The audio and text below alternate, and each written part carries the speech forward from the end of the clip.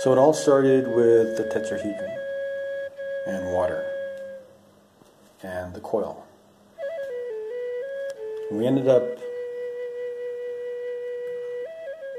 putting the water on the coil counterclockwise and we noticed some fantastic things. We noticed that the water was a lot sweeter. The water was sparkly and tingly. And we're like, what is this all about? And put some seeds in there one time around the lemon, and I noticed that the seeds started forming a membrane around them and sticking to the walls of the glass, which as far as we know is pretty non-conductive unless it comes to optics, unless you're using light. But, but uh, glass has always been known as an insulator. So we were like, whoa, what's that all about?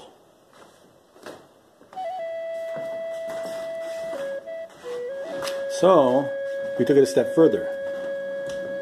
And we went right to the source of it. We took this is the second these are the second lemons that we experimented with. we have this rotten lemon here. This is after two months.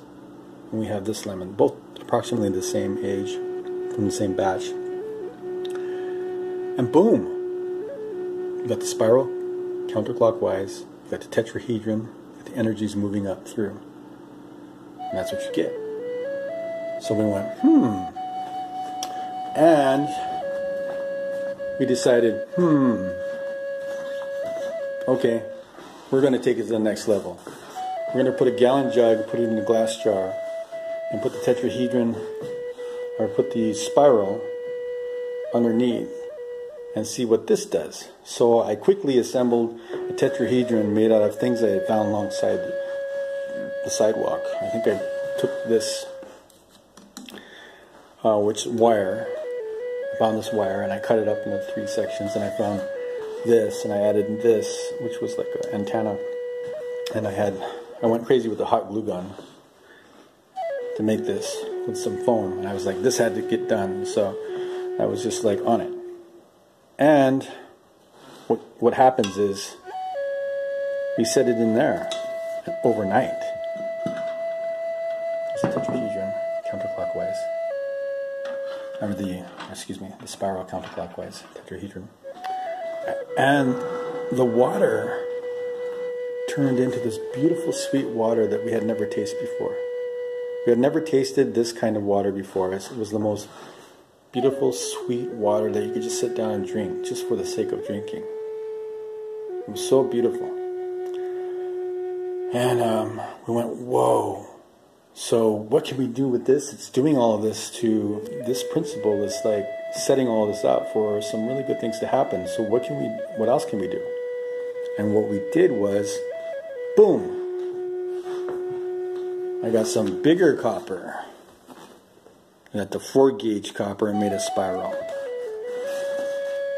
Counterclockwise. That's a pad we made for it right here. And then we set up the spiral. We, we made a bigger tetrahedron. And the tetrahedron we made with, let's see, copper and drilled holes in it and made sure that it was together on each end like this. And we raised it on air cushion. So you have counterclockwise and we, uh, tetrahedron that goes up vertically through the top. Now they talk about teepees. In my tribe we have teepees that do this. Set up a tripod first with teepees, then you add the other teepee poles. Of course, the fire is down below. And this kind of technology is very powerful. It's life-giving technology. And they talk about, you know, teepees being, oh, that's primitive stuff. You know, those are those are Indians. They don't know anything. well, they knew what the secret of mankind is, obviously, because it deters this this this kind of technology creates life out of a form. The tetrahedron is a it's a solid form, but also you put these two together. You have the spiral, which is spiral, which is actually transcending the circle, and you're moving it up vertically. Vertical comes from vertex, which comes from vortex, so vortex comes from vertex, which is vertical. Vertical vortex, vertex. All the way to the top.